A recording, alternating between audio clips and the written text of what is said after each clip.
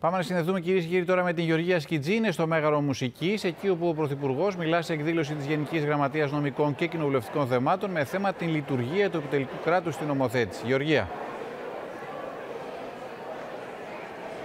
Καλό σας απόγευμα και επί της ουσίας ο Πρωθυπουργός αναφέρθηκε στον πρώτο αυτό νόμο που ψηφίστηκε επί της διακυβέρνησης τη Νέας Δημοκρατίας για το επιτελικό κράτος, όπως είπες, Απόστελε, το 2019. Με αυτόν τον τρόπο ε, και με μια έτσι ιδιαίτερα βιωματική, θα έλεγα, ομιλία, ο Πρωθυπουργός ε, εστίασε στο γεγονός, για παράδειγμα, ότι οι συνεδριάσεις των Υπουργικών Συμβουλίων από το 2019 μέχρι και σήμερα και αυτό θα συνεχιστεί γίνονται σε συχνό τρόπο ε, μέχρι και δύο φορές ε, μέσα στο μήνα πράγμα που ενισχύει όπως τόνισε την ε, λογοδοσία ένα συλλογικό όργανο το οποίο στόχο έχει το παραγωγικό έργο.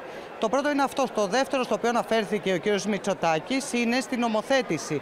Στην καλή νομοθέτηση, όπως είπε χαρακτηριστικά. Και πώς γίνεται αυτό μέσω της ε, δημόσιας διαβούλευσης. Καθώς πριν εισαχθεί στην Ολομέλεια κάθε νόμος πλέον, απαιτείται, είναι προαπαιτούμενο να υπάρχει δημόσια διαβούλευση. Αυτό τι σημαίνει; Ότι οι πολίτες, η κοινωνία οι ίδιοι μπορούν να σχολιάζουν και όταν κρίνεται από τους αρμόδιους φορείς ότι τα σχόλια είναι αυτά τα οποία μπορούν να αλλάξουν σε σημεία το νομοθετικό, τον σχετικό νόμο, αυτό γίνεται και αυτό υπογράμμισε από την πλευρά του ο Πρωθυπουργός. Δηλαδή, ότι επί της Γεωργία, σε ευχαριστώ πολύ για το ρεπορτάζ και στο σημείο αυτό να δούμε ένα απόσπασμα των δηλώσεων που έκανε πριν από λίγο ο κ. Μητσοτάκης. Δημιουργήθηκαν σωρία πανεπιστημιακών τμήματων με βουλευτικές τροπολογίες. Ούτε καν υπουργικές βουλευτικές τροπολογίες, τρόπος του λέγειν βουλευτικές. Όμως κάθε φορά που ε, αναλογιζόμαστε και αναζητούμε το κράτος, αυτό το αφηρημένο κράτος το οποίο θεωρούμε ότι τελικά δεν έχει κάποια σχέση με εμάς, αλλά είναι ένας άλλος ε, οργανισμός ε, απόμακρος, λες, και το κράτος τελικά ε, με τον τρόπο του δεν είναι και η έκφραση της ίδιας της ε, λαϊκής κυριαρχίας μέσα όμως από ε, διαδικασίες οι οποίες πρέπει να έχουν μια σταθερότητα και μια αντοχή στο χρόνο ε, ας αναλογιστούμε ότι αυτό το κράτος το οποίο, ε, από το οποίο απαιτούμε και από το οποίο έχουμε προσδοκίες χρειάζεται και αυτό τα θεμέλια του, χρειάζεται και αυτό τα υδραυλικά του, τα ηλεκτρικά του, τις καλωδιώσεις του.